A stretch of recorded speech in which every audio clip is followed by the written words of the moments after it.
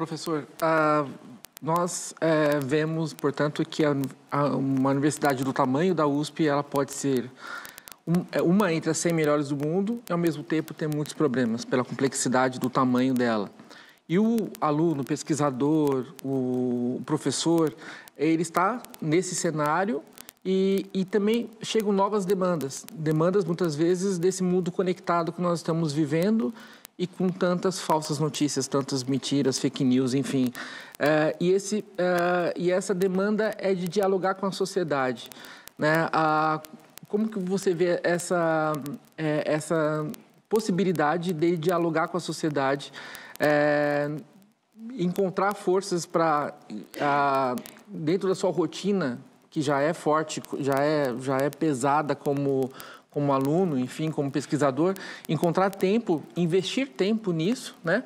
Uh, e ter iniciativas como, por exemplo, só encerrando a pergunta, uh, por exemplo, a Rede Consciência, a Rede Brasileira de Jornalistas e Comunicadores de Ciência, tem uma disciplina com a faculdade, com a pós-graduação de odonto da USP, uh, que é de popularização da ciência ensina, fala desde como, como ser, como ser um porta-voz com a imprensa, como também agir nas mídias sociais. Há outras possibilidades de iniciativas como essa? É, Moura, é, a universidade é complexa. Eu tinha uma, um medo que vocês fizessem uma pergunta do tipo, ó, eleja uma prioridade é, da sua gestão. Eleja, então. Porque é muita coisa para fazer. Não tem uma coisa que você possa fazer, bom, eu vou fazer isso daqui, eu vou solucionar. É questão de pessoal, é questão de financiamento, é questão de formação, é questão de ensino, é questão de pesquisa. Mas eu acho, eu acredito que o nosso pessoal esteja muito motivado para esse projeto de, um, de uma universidade pujante. Vou te dar o um exemplo agora. Nós tivemos hoje um edital da FAPESP que a USP captou 46% é, do total de dinheiro investido no edital de grandes equipamentos. Então, isso mostra que os nossos pesquisadores, mesmo com todo o problema que possamos ter, estão motivados, estão fazendo, estão fazendo com seriedade o trabalho que, que nós temos feito. É, as coisas importantes que nós estamos fazendo da universidade atualmente é, muito, é muita coisa. Por exemplo, é, recentemente nós inauguramos um conversor de etanol para hidrogênio. Então, vamos utilizar esse hidrogênio para fazer estudos em carros, em ônibus dentro do campus. Nós temos a Carticel, que eu, que eu comentei anteriormente. Nós temos hoje na universidade embriões modificados para fazer o, os estudos iniciais para o xenotransplante.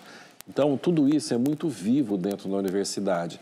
Eu sei que existem problemas, eu sei que eu preciso me ater a, a várias questões de, de, de, custo, de pessoal, mas a riqueza da universidade é muito grande. E é isso que mantém a Universidade de São Paulo. É isso que fez a universidade ser considerado entre as 100, as 100 primeiras. E dentro desse contexto todo, a busca por, por comunicar com a sociedade é muito grande.